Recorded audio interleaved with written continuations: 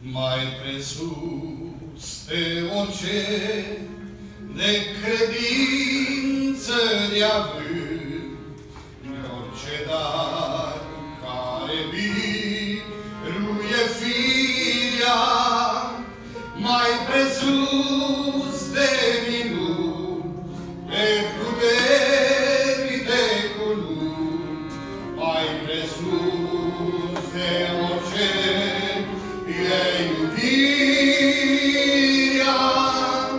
mai